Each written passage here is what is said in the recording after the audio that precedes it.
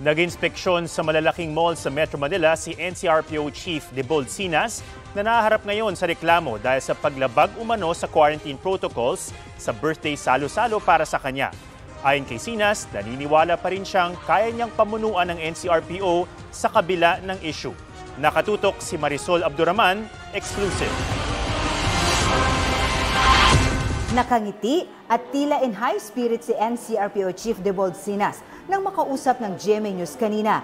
Gayunman, aminado si Sinas na nalulungkot din siya sa nangyari. low moral, siyempre nandyan yan. But I recovered. And I show sa mga tao ko na that's part of the game. That's part of leadership.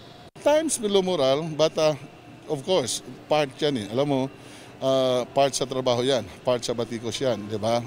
Pero tumanggi na magbigay ng komento ang hepe ng NCRPO hinggil sa mga isinampang reklamo laban sa kanya at sa iba niyang tauhan. I was already gagged by the chief PNP not to say any more statement because the case has been filed in the prosecutor and IAS is doing the investigation.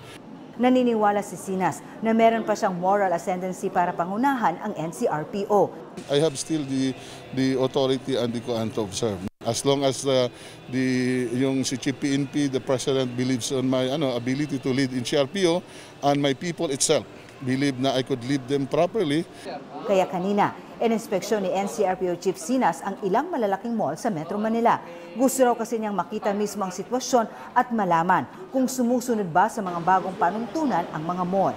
Ayon sa security officer ng mall, may mga safety protocol officers silang nag-iikot sa loob ng mall para tiyaking walang pakalat-kalat at tumatambay lang. Nasita naman ang isang mall.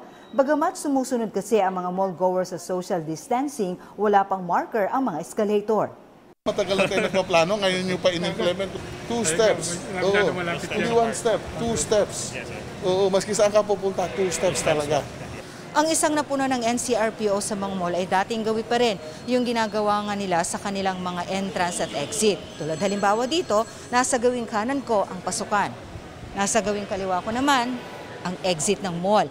Ang gusto ngayon ng NCRPO ay maglaan ng daanan lamang para sa mga papasok at para sa mga lalabas lang. Nang sa gayon ay maiwasan ang siksikan sa mga daanan. Opo, willing naman kami mag-cooperate sa sinasabi nga ni RD. Opo. Ang pambansang pulisya naman, kinukuha na ang serbisyo ng mga mall guard upang magsilbing force multiplier sa pagpapatupad ng public health protocol. Inatasan na ni PNP Chief Police General Archie Gamboa ang Supervisory Office for Security and Investigative Agencies o SOSHA na magsagawa ng koordinasyon sa mga company guard upang may patupad ang MECQ guidelines at paglaban sa kriminalidad. Marisol Abduraman, Nakatuto, 24 Oras.